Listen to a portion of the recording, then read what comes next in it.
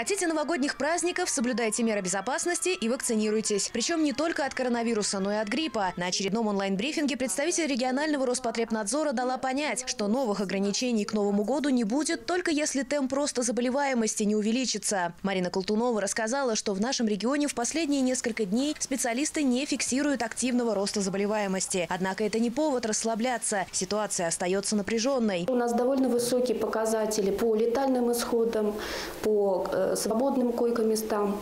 И также нас вызывает обеспокоенность – это тяжесть э, течения болезни нашего э, старшего поколения. Здесь э, ситуация у нас не меняется, и спасти эту ситуацию может только вакцинация. Охват жителей области тестированием тоже в последние дни сократился, а это плохой признак. В начале месяца было около 400 тестирований в сутки. В последние дни цифра снизилась до 300 с небольшим. Такими темпами, говорят в Роспотребнадзоре области, мы можем попасть в число неблагополучных по тестированию регионов. Обязательно сдавать тесты на коронавирус людям с признаками ОРВИ при положительных экспресс-тестах для подтверждения диагноза, а также тем, кто контактировал с заболевшими в очагах заражения и тем, кто находится на лечении для оценки состояния. Если тестирование вам положено, а его проводить отказываются, или если результаты задерживают, нужно обращаться на горячую линию регионального Роспотребнадзора по телефону, указанному на экране. Есть в регионе и случаи заражения гриппом. Пока их зарегистрировано 7. Граждан призывают вакцинироваться не только от коронавируса, но и от гриппа. Впереди зима, поэтому медлить с прививками не стоит. Ведь если коронавирус наложится на грипп, серьезных проблем со здоровьем не избежать избежать, говорят специалисты. Для вакцинации от гриппа используют у нас отечественные вакцины, разработанные по рекомендациям Всемирной организации здравоохранения.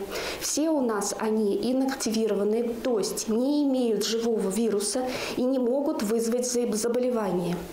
Поэтому вакцины прошли обязательную регистрацию, имеют сертификат соответствия, а также многочисленные исследования по безопасности. Наступает у нас э, хороший Новый год. Если мы хотим его встретить, нам надо сейчас удержать эпидситуацию как по коронавирусу, так и по гриппу, хотя бы на той же ситуации, какая у нас сейчас есть. Тогда у нас не будет э, новых ограничительных мероприятий. Из 2315 развернутых в регионе коек для коронавирусных пациентов свободны 30%, сообщает облздрав. В медорганизациях, перепрофилированных под ковидные госпиталя, постепенно сокращают количество коек для коронавирусных пациентов и переходят на оказание плановой медицинской помощи. Так уже приостановлена госпитализация ковидных больных в областной госпиталь ветеранов войн и госпиталь в Радужном. И с 25 числа мы также переводим и сокращаем в лечебных учреждениях областной центр специализированной медицинской помощи.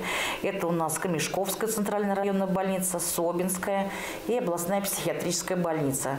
А, сокращение коек э, постепенные, то есть мы регулируем ситуацию, ситуацию и спрогнозирован план перепрофилирования в дальнейшем и открытием полной плановой медицинской помощи. Темпы вакцинации в последнее время выросли. В среднем в день прививается до 5 тысяч жителей области. Всего вакцинировать нужно более 874 тысяч. От гриппа вакцинировались более 55% детей и 47% взрослых жителей области. Маргарита Махрова, Шестой канал.